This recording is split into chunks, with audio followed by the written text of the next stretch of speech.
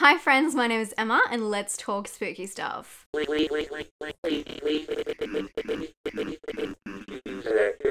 Welcome back to another monthly wrap up, and it has been a long month for me. I have watched a lot this month, so I'm very excited to dive in. But first, I want to say if you have not checked out my paranormal activity video that just went up, you need to. It is a long video that has a lot of information about all of the films. I talk about the best scares in each film, and I rank them from best to worst. I talk about all of the background and how they were put together. So please go check it out. I really enjoyed making it and I think a lot of you will really like it. It's a little bit longer, but I think that's kind of fun sometimes, right?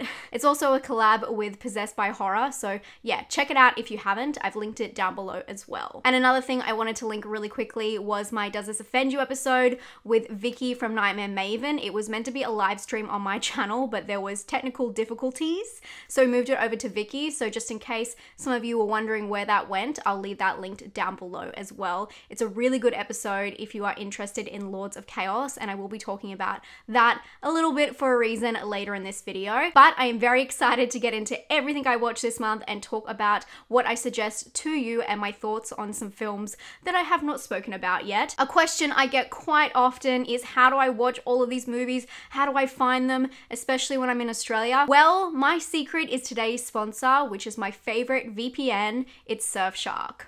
Surfshark is a VPN which stands for Virtual Private Network. Not only do they encrypt all of your information and protect your identity online, they also unlock content on streaming services that you may not be able to access in your country. So, say for example, with Paranormal Activities, I watched all of them recently, they weren't all on Australia's Netflix. So, I flicked a switch and all of a sudden I was in the United Kingdom where I was able to watch them via Netflix. I pay for Surfshark personally myself and I would not vouch for it it if I did not think it was worth the money. It's been super convenient for me, especially in this time where we're getting a lot more VOD content instead of content in the cinema. I think it's really worthwhile in investing in something that you can trust to not only protect yourself, but also give you some more content. To unlock content now, go to Surfshark by using the link in the description and enter the code SPOOKY for 83% off and three months extra for free. Thank you again to Surfshark for sponsoring today's video. Now let's get into Letterboxd. I am dying to talk to you about some of the movies I have watched during November. Again, I'm using the app Letterboxd. If you are curious, I've left the link in the description below. Let's go all the way down to the start of this month. Seriously, this is gonna be a long video. At the start of the month, I actually had a Halloween hangout uh, with a bunch of my patrons, and uh, because it was the first for me, so it was the 31st for my friends in America, uh, we watched uh, 31 to celebrate Halloween.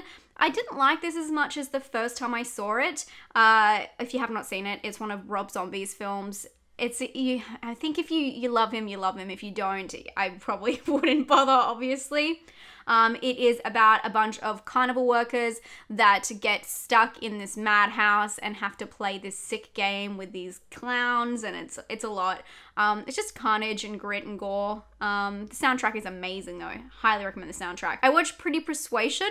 I feel like I'm not saying that right. I don't know why.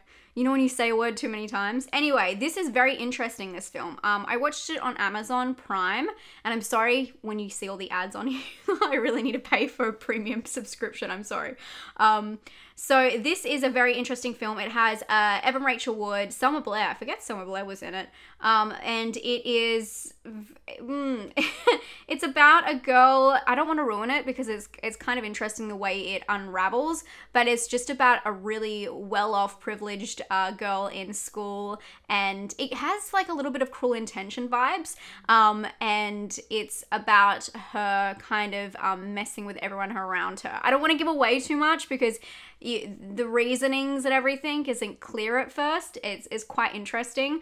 Um, the film was quite annoying to watch because it was so overly um I mean it's it's a very it's a big social commentary I should say that. So I mean it's hard to watch these kind of situations with people being awful, uh, but it was it was quite yeah, it was still very interesting. So I probably would recommend it if you are into Cruel Intentions, um, into that kind of like social atmosphere that is a little bit weird, and you like being um, kind of a fly on the wall. I definitely recommend that. I watched Yes God Yes.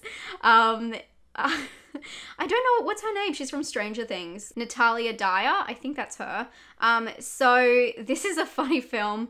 Um, it's about a Christian girl who goes to like a, a camp, kind of like a Christian camp. I'm trying to say this in a PG friendly way, but pretty much it is about her going to this camp and um, her coming of age and you know, her feelings coming out as she turns into a woman. and, uh, you know, everyone there ignoring their true feelings. That's a really bad way to say it. Maybe look up the blurb if it says here on the blurb. I don't know. It's about a sexuality. I should say that. I'm, I'm, i think I'm allowed to say that. Um, but yeah, I thought it was interesting. It wasn't anything great, but um, I kind of like those films. I love Saved. If you ever saw Saved with um, Macaulay Culkin and Mandy Moore, I love that film. Um, so I watched Cadaver next, which is finally we're getting back into horror. Um, this is a Norwegian, I believe it was Norwegian horror movie on Netflix, and uh, it's I actually probably would recommend it to you guys. Um, I just haven't had a place to speak about it. I think everyone thought it was okay. You can kind of see here by uh, the people who watched it. Everyone thought it was, yeah, you know, mid. Um, I think it's a really cool setup, but I don't think the uh, ending is anything great or anything really different. It's about a family that are living in the aftermath after a disaster in their city, in their home, and the rich invite them in for this dinner and it's meant to be like this immersive play where they're a part of it and it just becomes very sinister. It's a strange movie. Like it, I feel like the visuals were planned before the storyline, but I do think it's worth watching. Another film that everyone went nuts over, especially on Twitter, is His House, and I would highly recommend this film. I do think it's one of the better horror movies I've seen this year. It's on Netflix again, and this one is about a refugee couple that move to England and they have to, you know, adjust to their new lifestyle and live in this house, and they are, yeah, kind of torn apart, uh, dealing with a lot of trauma based on their experiences and their past catching up with them. And it is, it doesn't go where I thought it would go. It goes in a better direction. I think it was an amazing, moving film, and I really recommend you, everyone watch this one. I think that was really good. Highly recommend that one. I watched Awoken. Oh yeah, I forgot about this one. God, who who who possessed me and made me watch this film? Look at the poster. Um, oh my gosh. I really talk a lot about horror movie posters. Do you guys want me to do a video on horror movie posters and what attracts me and, and makes me repel? Please let me know. Anyway, uh, so this one is very interesting. Not really, actually. it's about um, a medical student who has a brother who's dealing with this sleep illness, and um, it doesn't make any sense, but she like transfers him to the basement of her university, if I've got that right and then they try and do all of these like tests but the person who's helping her has like sinister um, motives. I don't know. He's hiding something. It's really bad. Don't watch it. don't bother. Another film I absolutely loved was 12 Hour Shift. I did talk about this in what's coming up on VOD this month. Um, I think it was for last month, but I finally got around to it. Angela Bettis back in action. And the storyline again for this one is not what I expected, which I think was really cool. Um, it is about a hospital and uh, this, uh, she is a medical worker there and her cousin Oh my lord, she would be the worst at Thanksgiving dinner.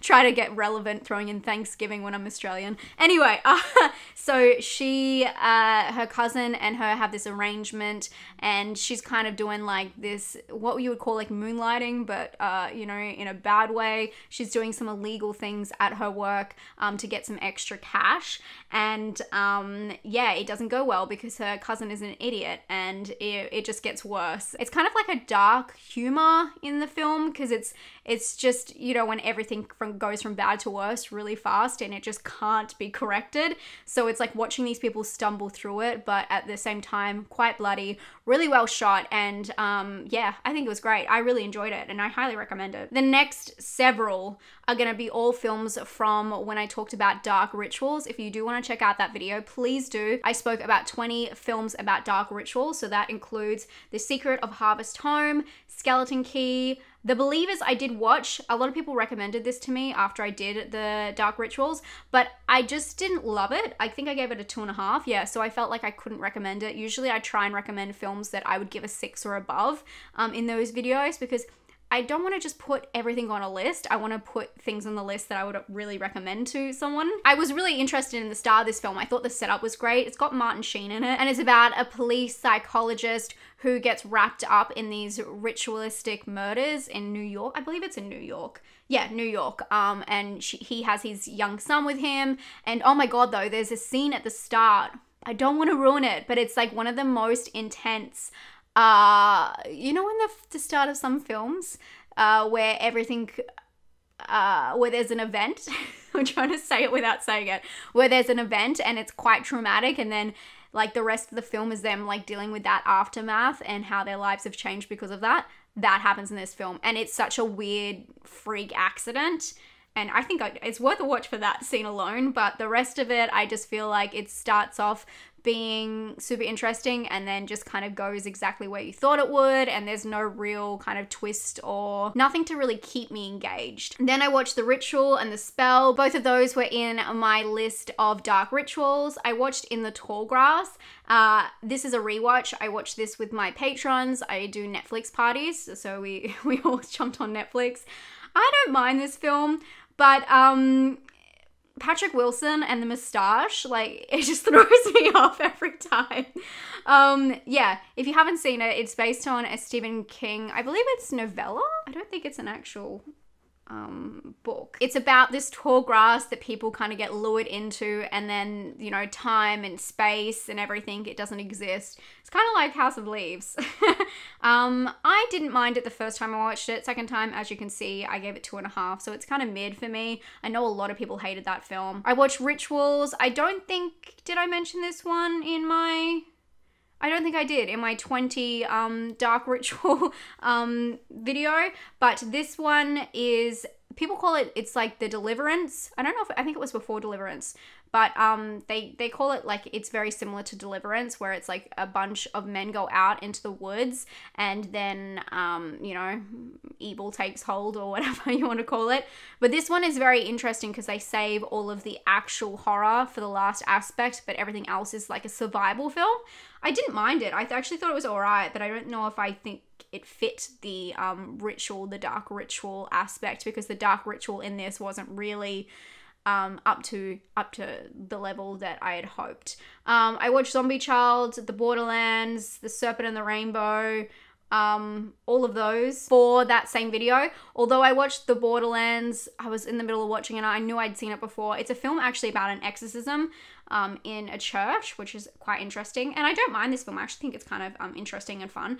Um, but I thought that that was Borderland.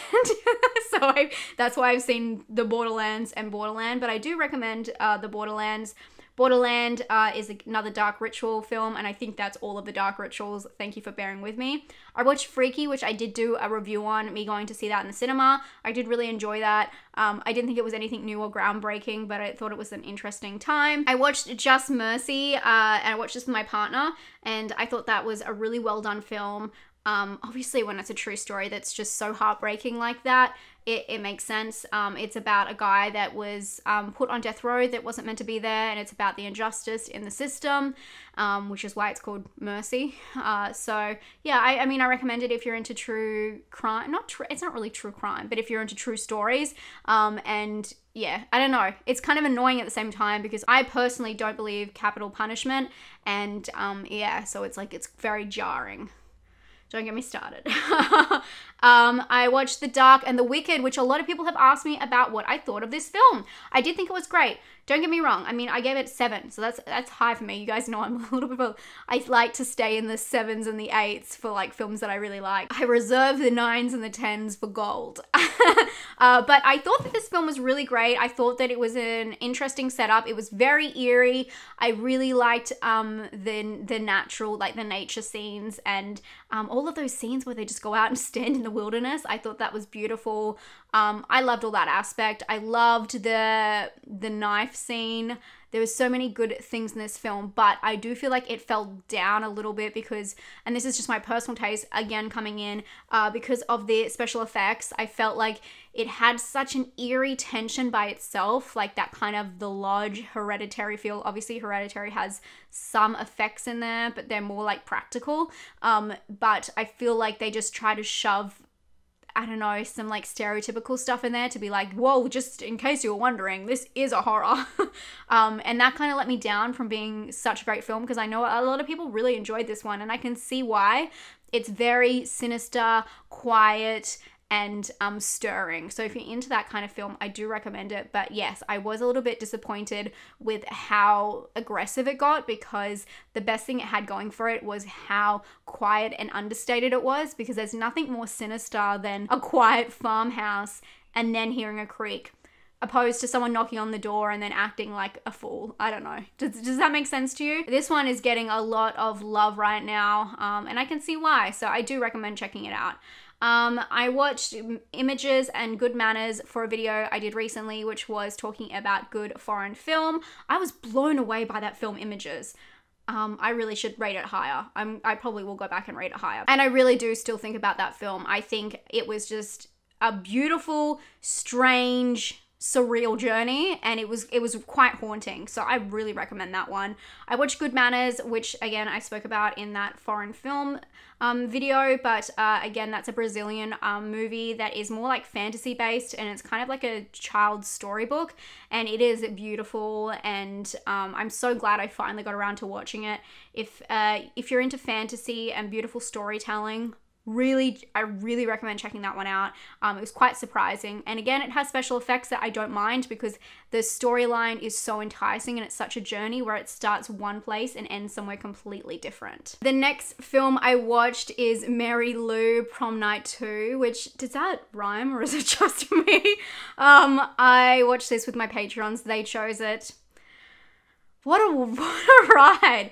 Um i don't even really remember prom night one. I have seen it before um, but this isn't a film I normally seek out, and that's what I like about doing my Patreon hangouts. I like uh, getting out of my comfort zone and watching, especially a lot of 80s films we tend to watch. Um, and this one is a trip. If you haven't seen it, the horse scene sends me not to good places. um, it is just, it's like a ripoff of like Carrie, and I mean a lot of 80s kind of movies, but mainly Carrie. Um, and it's cheesy and odd and hypersexualized. And if you're into cheesy 80s, you definitely need to check it out. I then watched this film.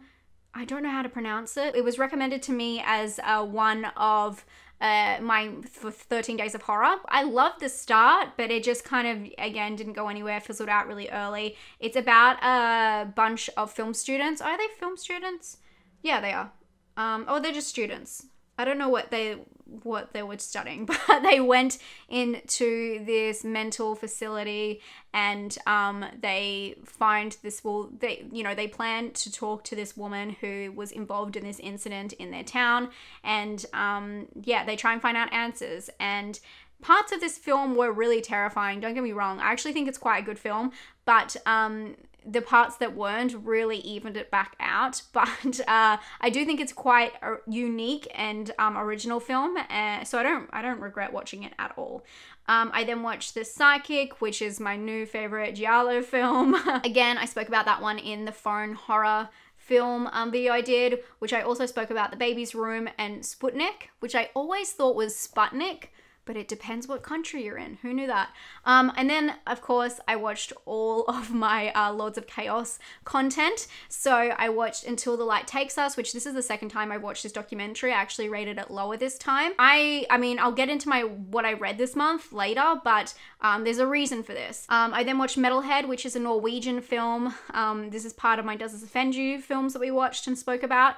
And this is about a, uh, a woman who uh, deals with grief in her life and she turns to metal and um, the effects that has on her and um, her social circle and her family. It's a nice film. It's a heartwarming film, which you wouldn't think of when you look at the cover. Like you would assume it's got more going on, but oh my god, that Norwegian like tonal, like the coldness and the, the mountains. Oh my god, I can't. It's beautiful. Um, and Lords of Chaos, rewatch this film. I feel like knowing everything I know now it it gives me such a different way to pick apart the film, and I can understand people who are really into the story before the film came out uh, would have seen it completely different way. But I still love the way this film was put together. I still think it's an awesome way to tell the story, even though obviously it uses liberties, but that's the creative license it has, and it, it you know it gives you the whole disclaimer on that. And then I watched all of the paranormal activities. Um, and fun fact, I watched paranormal. Sorry, we'll skip ahead a little bit. I did watch Run. I did a video on that. If you do want to check it out and hear all of my thoughts, I have a whole video dedicated to watching that. Um, and as you can see, I watched Paranormal 1, Paranormal 2, Paranormal 3, Paranormal 4, the ghost dimension and then the marked ones. I actually switched them. I didn't even realize till afterwards that the fifth was a sixth. But you can watch them either way around. It doesn't really matter to be honest. Um, but in between that, I watched Stage Fright Aquarius. I can't believe I gave this one and a half. That's so harsh.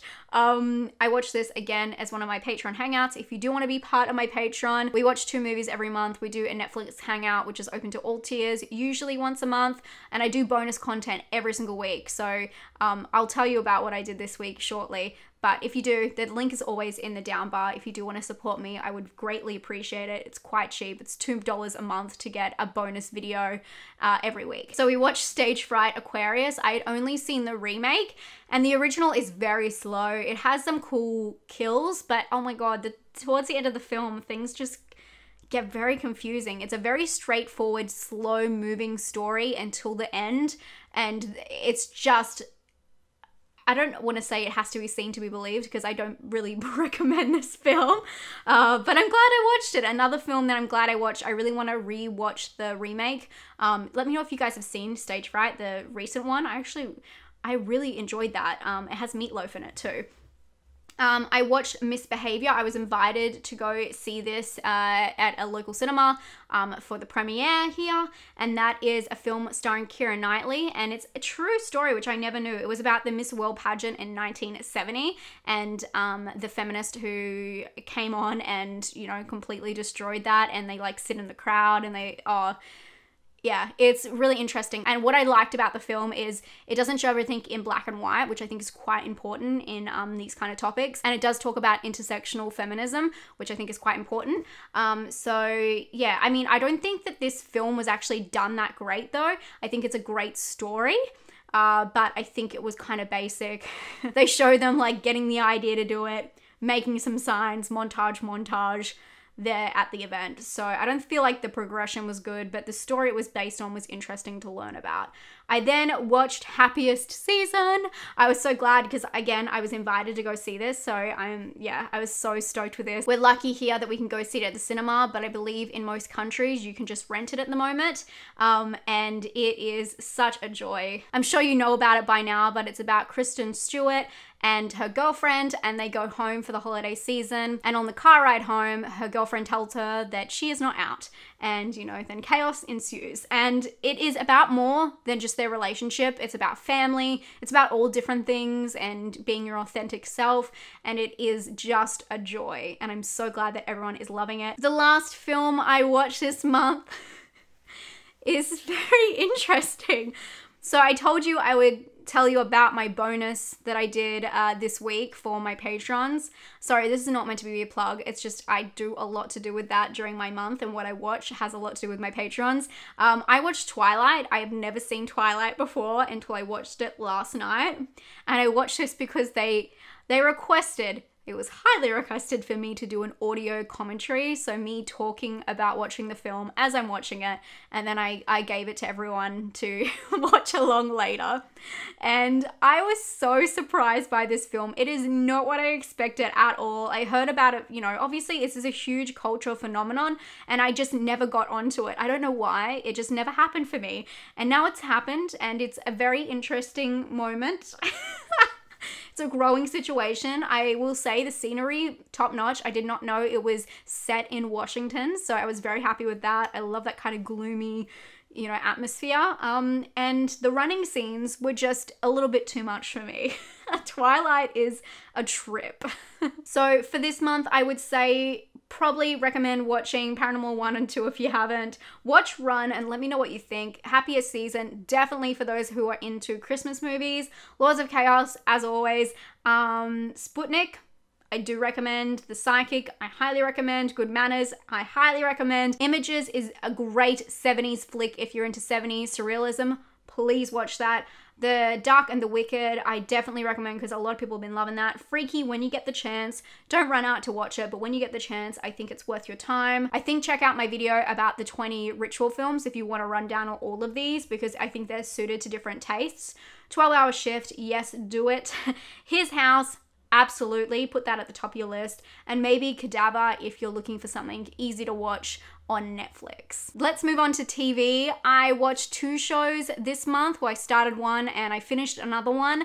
The first one was Dark Tourist. I don't know why it took me so long to watch this TV series, and I absolutely loved it. Um, I fell in love with the host, even though everyone says he's like a Louis ripoff, but I love him and he's from New Zealand, so I really appreciate that. Uh, it is a TV show on Netflix about um, a guy who travels around the world and looks at dark tourism. So that can be like violent places places, abandoned places, uh, places connected to you know dark history um, and then also you know like ritualistic stuff. And i feel like i learned a lot from this series and it really opened my eyes back up obviously with the world being how it is. I'm not going to be able to travel in a little bit and i love traveling. So it was really interesting to look at it through his eyes. And he is so um, transparent, which I really, really love. It wasn't like, because obviously when I think about this kind of stuff, I have a background in TV and especially in, uh, I worked on a couple of travel shows and I always think about how they would do the sponsorships and ask to, you know, get permission to film. And sometimes he goes to these certain places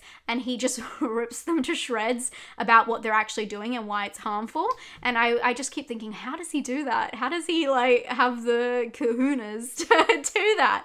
Um, and yeah, I just think it's really impressive. But also, he is um, super open to other cultures and learning about stuff. I loved the episode in Indonesia. I thought that was really interesting. There is a lot of animal um, slaughter in this series unfortunately. It's true life though you know it's about rituals and sacrifices um, and they explain all of that. And i think um, a lot of people would find that really hard to watch. And uh, I, I think it's quite humbling to watch because it is realistic and it's not turning, you know, a blind eye to this kind of situation. Um, and I think you just need to watch it and make up your own mind. But I think that the way they present it is really honest and authentic. And I just love the TV series. I'm so sad it's over. I really wanted a season two, which obviously is not going to happen anytime soon. But if you have been putting it off, it really is, when they say dark tourism, it really is. And uh, it's it's just fascinating. I just thought it was so fascinating, especially when he went to that country and um, oh my god, it was like it was like Korea and it was yeah, I was blown away by the stuff he saw. I thought it was just going to be the normal stuff, like, you know, the Japanese forest, which he does go to, but he really does cover an array of things that I'd never heard about. So, yeah, highly recommend that. And the other TV show I watched was Schitt's Creek. I've almost finished the first season. Everyone in my life has been screaming about this show, especially everyone online. I know how much it's meant to a lot of people during lockdown, but I never got into it. It's not my kind of comedy. Uh, but a lot of people say season two is where it gets good, so I'm willing to hang out for that, especially because it's really easy to watch in the background. It's only 20 minute episodes, so I've been able to chuck that on and do a couple of things if I need to do on my phone while still paying complete attention because it's such a straightforward storyline. But I'm really looking forward to getting into season two, and there's a couple of character developments that I'm, I'm really enjoying so far. So we will see, fingers crossed. The last thing I want to talk to you about before I go today is books. I read the Lords of Chaos book and it changed my life. um, actually, Vicky from Nightmare Maven and I both read this book um, in research for the Does This Offend You episode that I spoke about earlier.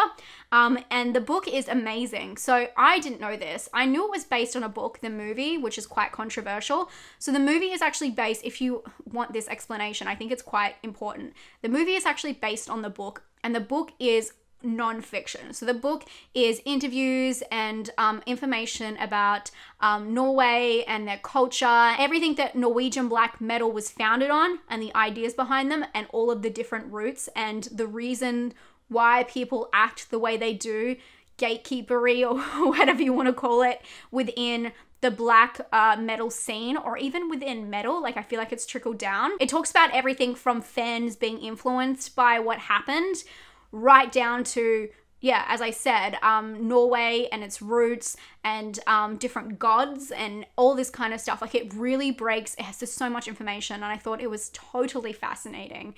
And um, I highly recommend that book. You can get the audiobook for it. Um, so I highly recommend that. It was just, it was amazing. And I really enjoyed that process of learning. I, I felt like I was really into it. I was making notes the whole time and it got me back into like the idea of learning and i hope in the future to do a lot more deep dives and research like that because i just found it really fun to get back into and learn for myself. And I actually took that method and applied it to my paranormal activity video that I did recently. And that's why I want you guys to watch it because I really did a lot of research for it and really poured my heart and soul. Usually I watch you know 30 40 movies and decide what's good to recommend to you. But i want that balance to be completely honest with you i want that balance of a lot of information because i want to make my channel something that is i'm giving you information, not just entertainment. You're you're getting something out of it that you can that's tangible and you can take away. Sorry, this has been such a rant. So I want to make it, you know, half half. I want to make it all fun recommendations where you get to go out and find out for yourself if you love that film, spoiler free kind of information. But then also I want to do deep dives again and really get into that. I have some great ideas coming up. So if you haven't subscribed, please do. I do two videos every single week talking about horror movies and thriller movies, giving you a lot of recommendations and adding a lot of films to your watch list. I want to thank today's sponsor, Surfshark, for supporting me. It really does mean a lot to get support from sponsors during this time, and I hope you're all having a great day. I'll talk to you very soon. My next video is going to be what's coming up on VOD in December, so I'm very excited to share that with you and talk about some new movies. I'll see you very soon. Stay spooky, friends. Bye.